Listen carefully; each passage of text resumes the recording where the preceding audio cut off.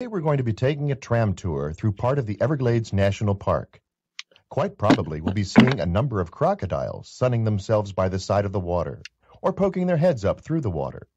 Needless to say, we will not be getting off the tram at any time until we leave the area because of the danger posed by the crocodiles.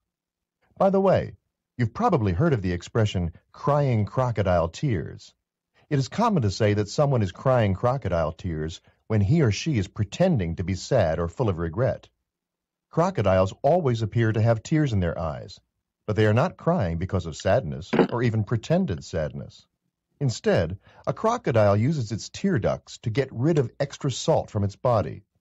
A crocodile does not sweat the same way that humans do and must get rid of extra salt through tears. So if you see a crying crocodile, do not think that it's feeling sad. It is basically sweating through its eyes. Look, over there on the right. There are two large crocodiles on the water's edge, right next to the fallen trees. You can get out your cameras and take pictures from here on the tram, but no, you cannot get off the tram to get any closer.